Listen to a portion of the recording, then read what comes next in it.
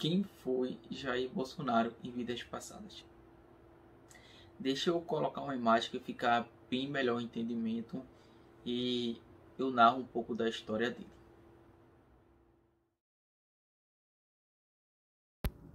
Conhecido como Jack Connor, ele nasceu no dia 8 de janeiro de 1900 e ele morreu no dia 2 de junho de 1916, conhecido também como o herói da guerra e como era chamado Boy Connor. E lembrando por sua bravura na Batalha de Jutlândia durante a Primeira Guerra Mundial, tendo morrido com apenas 16 anos de idade, ele foi premiado por uma cruz de vitória. Seus pais eram Eli e Alice Connor e seu irmão, e seu irmão mais velho era Arthur. Também servia um regimento da infantaria de frente na Ocidental. E em 1915, Jack Connor desistiu do seu trabalho como entregador e se alistou-se à Marinha Real, mentindo que tinha 18 anos para entrar na Marinha e conseguiu se alistar e não teve permissão do seu pai. Então tem livros que falam sobre ele, tem algumas histórias que falam sobre ele e ele foi um guerreiro, foi considerado como um guerreiro da história, porque ele conseguiu abater alguns navios que estavam ao seu redor e ele conseguiu atracar com um navio uma ilha paradisíaca e com isso por essa investida que ele teve, essa reação que ele teve, foi bem premiado, tá entendendo?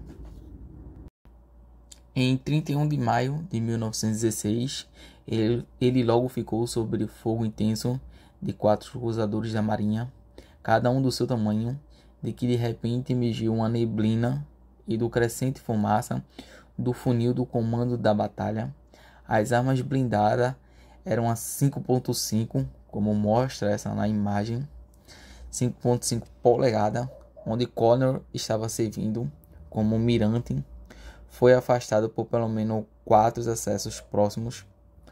As lascas foram capazes de passar por baixo delas, por baixo dele, entrando nas suas costas, até mesmo na sua barriga.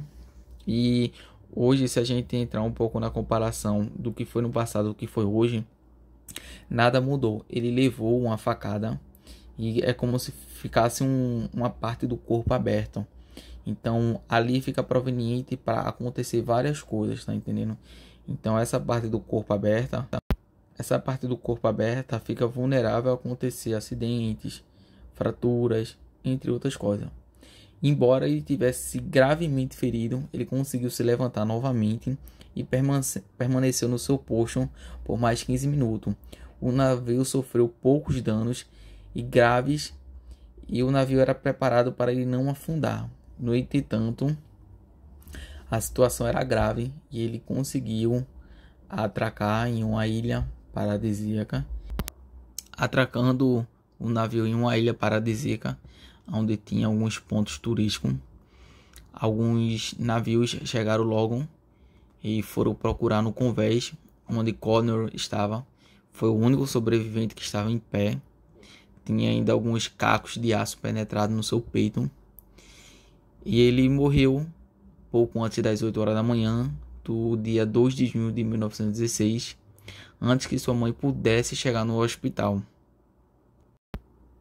Ele foi considerado como o primeiro herói da Primeira Guerra Mundial.